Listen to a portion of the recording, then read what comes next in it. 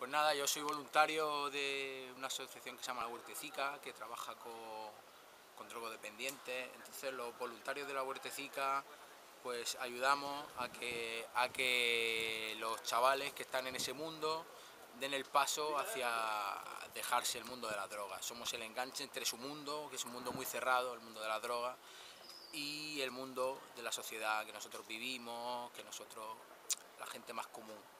Eh, yo lo hago, como siempre digo, de una forma egoísta, porque realmente estas cosas te dan más de las que tú eh, das, tú das tu tiempo, pero luego ellos las ves por la, por la calle, te saludan, que están bien con su familia, y una satisfacción que te da más del poco tiempo que tú puedas dedicar. El voluntariado, yo siempre lo he dicho, es una cosa egoísta.